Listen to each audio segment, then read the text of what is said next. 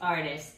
Although I like to use different tools and techniques and I create my work in different styles, I really, really enjoy the use of bold and vibrant colors and lots of it too. So I consider myself an expressionist more than anything.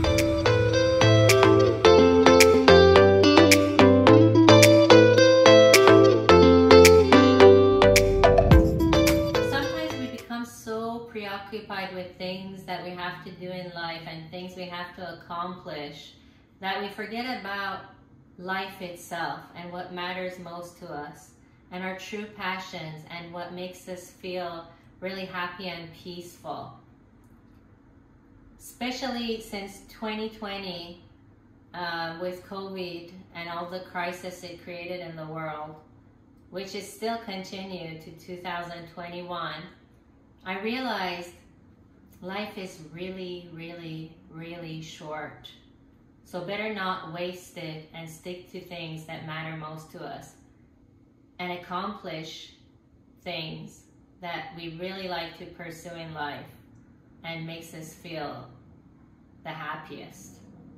So I decided to start this channel to share my experience with um, other people like myself especially now that everybody's staying home more than they ever did before. So of course, everyone needs a hobby. What better hobby than to create? Create something meaningful and beautiful. So yeah, I decided to start this channel and share my experience and what I've learned along the way with all of you creatives out there that are just like myself. And um, basically, I'm going to show you all the tips and tricks that I know.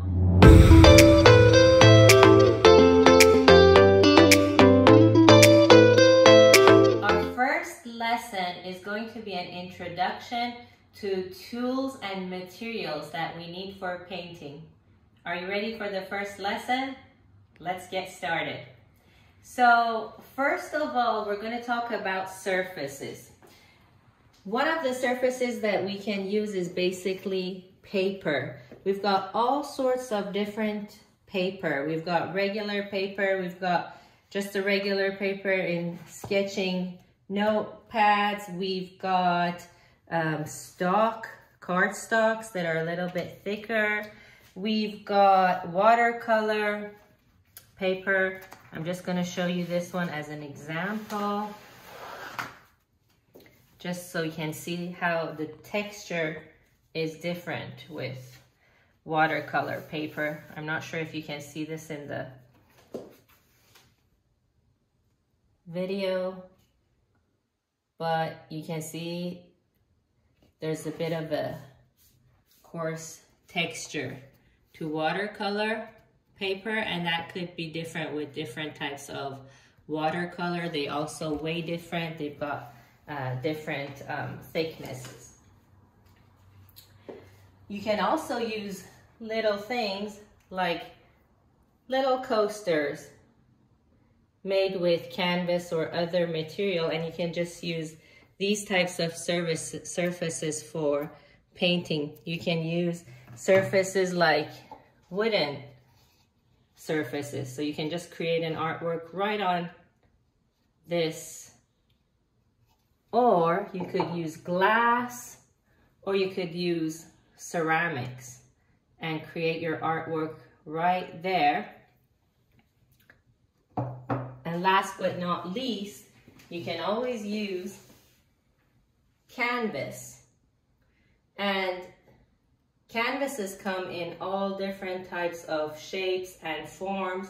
There's rougher ones, there's finer ones, there's ones that are woven looser, ones that are woven tighter. So depending on the type of canvas that you have, you're gonna have a different painting experience and you're gonna have a different outcome or result.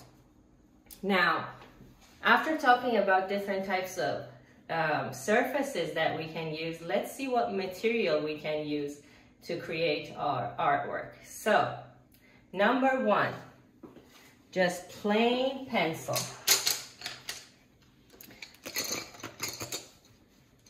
So we've got all sorts of different uh, pencils that we can use. I'm sure you've all seen the regular pencils that you have in schools, the HB pencils. So most pencils, they all either have H or they have B. You see the HB one? These are the regular pencils that we use in school. So B means black, H means hard. The more B's you have on a pencil, you see there's different numbers. So you've got like 2B, 3B, 4B, or 4H, um, or let's see what this one is, H. So H means hard, which means the graphite is harder and it creates a lighter mark. B means black, which means the graphite is softer and it creates darker marks. So the more B's you've got, the higher the number of the B, it means your pencil gets darker. The higher the number of H, it means it gets harder. And therefore they create different effects on your paper. You can also use pens, all sorts of different pens. There's artist pens, there's regular ink pens, there's ones that have uh, oil in them. They're um, oil-based or acrylic-based. You could use these little fun pens with different tips on them. You can change the tip and create different marks. And you can just use ink um, that's sold separately. So you just use the ink and you dip in the tip of the pen in the ink and create different marks. So of course you can use those. You're gonna need erasers when you're drawing. And don't forget, with every beautiful piece of painting, uh, there's a beautiful, usually in most cases, it starts with a beautiful um, sketch or a beautiful um, drawing. So basically your drawing is, your, is the basis of your artwork. Um, there's different types of erasers that you can use. Of course, you're gonna need a sharpener. Um, look at the erasers. There's so many different ones. I believe these ones, for example, they call them the gum eraser and they change shape. So you can kind of make them fit into narrower spaces that, you know, it's harder to get in. You can use little bits of it. And um, as I said, just change the shape in there. Then we've got coloring pencils, of course, and coloring pencils are different too. You've got regular coloring pencils, and then you've got other sorts of coloring pencils. For example, these coloring pencils, um, they're also watercolor pencils. So if you use a little bit of water, it, it becomes soluble in water. And so you can create a piece that has um, parts in coloring pencil and parts in watercolor, basically using one type of pencil. Then you've got markers. There's all sorts of different markers that you can use to create a piece of art. These are just Sharpies and you see there's a whole variety um, of colors. Other than that, you could use crayons. Everybody's familiar with good old crayons. You can use pastel colors, pastels. And there's different types of pastels. These are oil pastels. You can even use things like glitter in your painting and add little effects here and there. Then we've got watercolor. So let's go to watercolor. We have watercolor as a basically it's soluble in water. So it's these are pigments that are soluble in water. It's in a water-based solution.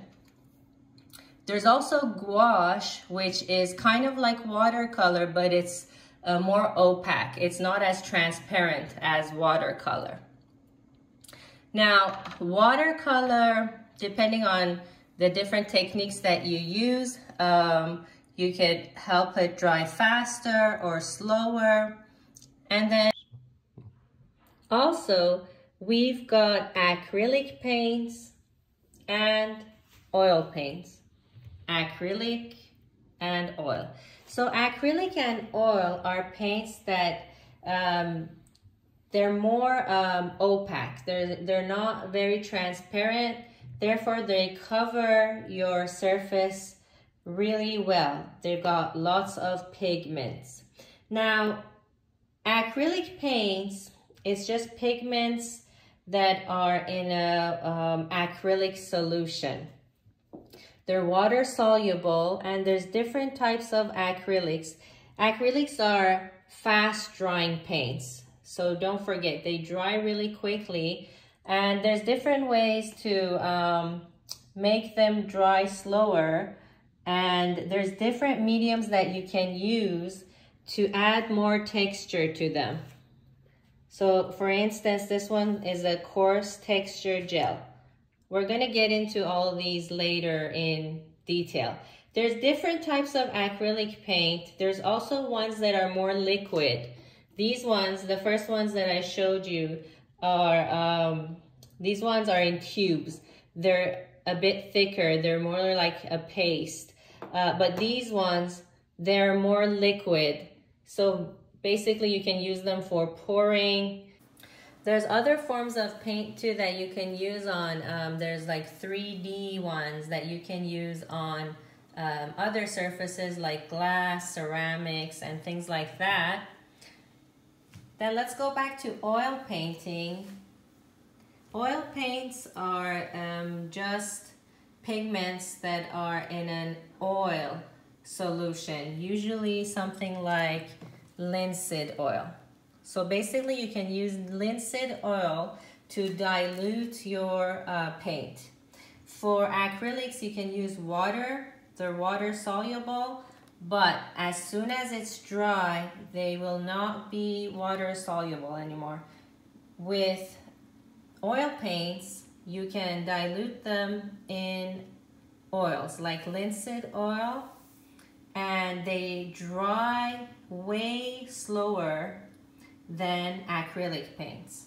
Acrylic paints can typically dry in less than an hour even depending on how much you use. If you're, if you're painting a small surface with little paint, it will dry very quickly, sometimes in a matter of minutes where with oil paints, they dry very slowly. It could take days to even a week or more, depending on how much uh, paint you use and how thick the layers of paints are. So basically we've gone through the different materials that we can use to create a painting. Other than that, we also have mixed media. Mixed media means you're using different material and techniques to create an artwork. So let's say, instead of just using, let's say I have this painting, and instead of using, this one was created with oil, and it's not finished yet. But let's say I decide to use other materials in it, like I start using clays or um, little pieces of mosaic, mosaic, uh, mosaic, um, pre-cut glass, uh, or even thread, things like that, or glitter. If I start using other materials in my oil painting, then it's not just gonna be oil painting anymore. It's gonna be called uh, mix media. And we're gonna get into all of these in more details in the next videos. So um, stay tuned for the next videos and we'll see you next time. Take care, bye.